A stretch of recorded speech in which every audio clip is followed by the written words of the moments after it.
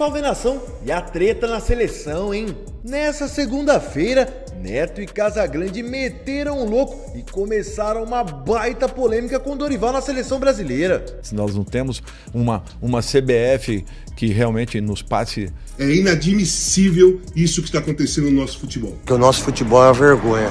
A vergonha da CBF, a vergonha das pessoas que dirigem. Fica aí até o final do vídeo que vamos te mostrar isso tudo com todos os detalhes. Neto e Casagrande polemizaram muito após Dorival Júnior ser o escolhido como novo técnico da seleção. Mas antes de ver toda essa polêmica, é preciso relembrar Dorival Júnior falando mal da CBF no Flow Podcast. As pessoas percebiam que não, os sul-americanos tinham grandes jogadores, mas eram desorganizados em todos os sentidos, como somos ainda hoje. Nós não temos federações consistentes, nós não temos uma, uma CBF que realmente nos passe uma esperança e uma expectativa de que estamos num caminho. Nós ainda não temos isso.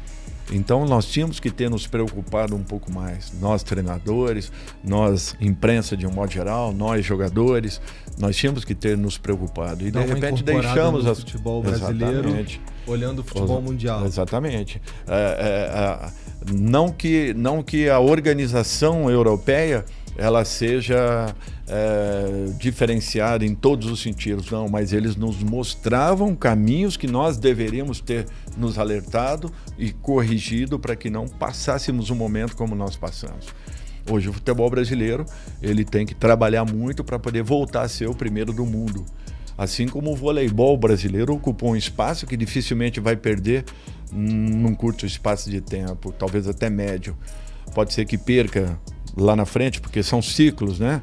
É, isso tudo é, é muito relativo. Dorival, que chegou a falar pela primeira vez neste domingo como novo técnico da seleção, após a saída do São Paulo. É um sonho do treinador, eu também fui treinador e, e a gente tem que respeitar, vai fazer muita falta, porque a gente fez o planejamento em cima né, do treinador, mas a gente quer já boa sorte a ele, um cara além de ser um grande treinador, é um cara excepcional como pessoa.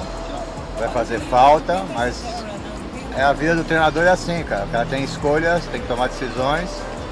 Ele tomou essa decisão, a gente tem que, tem que aceitar e torcer para ele, porque além de ter um grande treinador, é um, é um baita caráter, foi campeão, ajudou muita gente. Dorival, você sai com muito carinho daqui, né, meu? É, foi muito legal, foi muito legal. A receptividade, eu acho que foi uma troca constante. Pode ter certeza que esse clube está marcado no meu coração.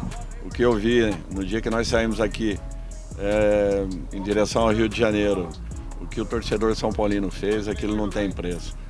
E para a gente é, é uma satisfação, um prazer poder ter vivenciado um momento como esse dentro de um clube tão gigante. E agora é seleção? Missão cumprida. Vamos e agora em frente. é seleção? Um abraço a todos.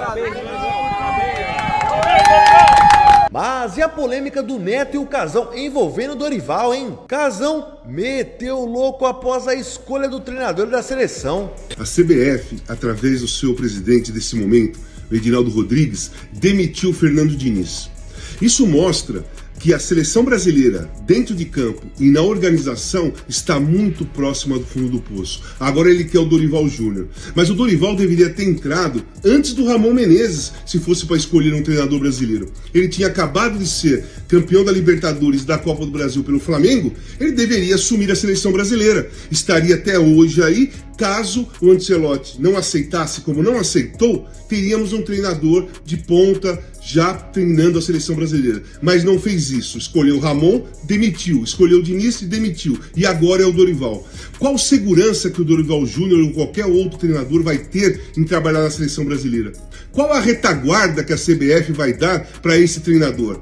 Gente, nós estamos caminhando mesmo para o fundo do poço. É inadmissível isso que está acontecendo no nosso futebol. Já o craque Neto detonou a escolha da CBF de Dorival Júnior, começando uma polêmica pesada. Parabéns aí ao Dorival Júnior para ir para a seleção brasileira. A verdade, Júnior, eu não sei se você fez uma boa escolha. Eu não sei se alguém vai fazer uma boa escolha sendo dirigido por esse presidente da CBF. Só uma vergonha, desculpa. Mas é seu sonho, então boa sorte para você, que você consiga os seus objetivos. Você é um cara direito, um cara maravilhoso, incrível. Eu espero muito que você dê certo. porque o nosso futebol é uma vergonha. A vergonha da CBF, a vergonha das pessoas que dirigem. Então, boa sorte para você, Júnior. Fica com Deus, irmão. E eu vou torcer para você pra caramba. Coisa que eu não fiz com os outros treinadores. Para você eu vou torcer. Pro Tite, pro Fernando Diniz, eu torci contra.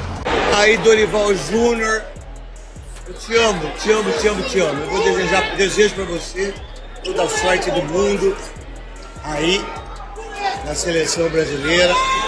Mas eu vou dizer uma coisa para você. Do mesmo jeito que esse Guinaldo fez com o Fernando Diniz, vai fazer com você. Do mesmo jeito que eles mentiram,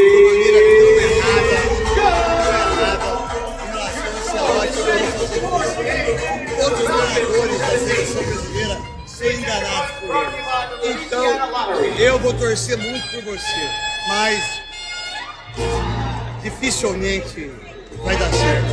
Acho que nenhum treinador dá certo na CBF. Nenhum, nenhum. Pode esquecer. É o seu sonho? Legal, parabéns. Mas, desculpa, com essa CBF, com essas pessoas, esquece. Mas eu vou torcer por você. Ah, então vocês estão preocupados se vai ser o Dorival Júnior, se o Fernando Diniz não vai ser o técnico da seleção brasileira? É isso mesmo que vocês estão preocupados em todas as mídias aí no Brasil? Vocês estão de sacanagem comigo. O problema é o Edinaldo, o problema é o Ricardo Teixeira, o problema é o Marco Pordionero, Zé Maria Marim, Rogério Caboclo. Pô, vocês estão brincando com o futebol brasileiro. Será que vocês não tiveram entendimento que não são os treinadores? Não é o preparador físico, não é o coordenador técnico, não é nada disso. São as pessoas que continuam lá e as pessoas que voltam para o poder do futebol brasileiro. E vocês, presidente de federações, não fazem nada. E vocês, treinadores, não fazem nada.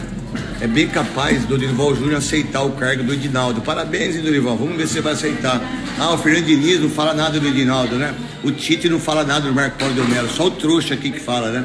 Babaca. E aí, nação, o que vocês acharam dessa baita polêmica do Neto e o Casagrande envolvendo o Dorival Júnior? Vocês concordam com o Neto? Ele que é amigo pessoal do Dorival Júnior e não aliviou pro treinador da seleção brasileira. Ou vocês estão com o Casagrande? É um erro a contratação de Dorival Júnior? Bora botar fogo na discussão. Quero muito saber da tua opinião através dos comentários aqui embaixo desse vídeo. Se fosse por merecimento, o melhor técnico que atua no futebol brasileiro é o Abel Ferreira. Mas vocês já estão ligados, né? O treinador palmeirense tem treta com a CBF. E vocês, se fossem o Edinaldo Rodrigues, quem seria o treinador da seleção? Bora botar fogo na discussão. Tô muito curioso para saber da tua opinião através dos comentários, mas antes de você opinar, não esqueça de se inscrever no nosso canal, hein? Ativar o sininho e deixar bastante like nesse vídeo.